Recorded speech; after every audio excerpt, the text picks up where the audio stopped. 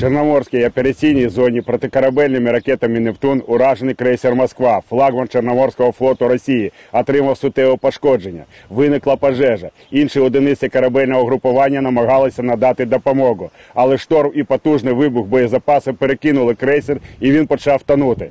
Якщо для висадки десанту умови несприятливі, то загроза ракетних атак як з моря, так і з тимчасово окупованого Криму залишається. На Миколаївському та Херсонському напрямку втрати противника складають 54 рашисти та 8 одиниць техніки, серед яких дві самохідні артилерійські установки, реактивна система залпового вогню ГРАД і танк Т-72.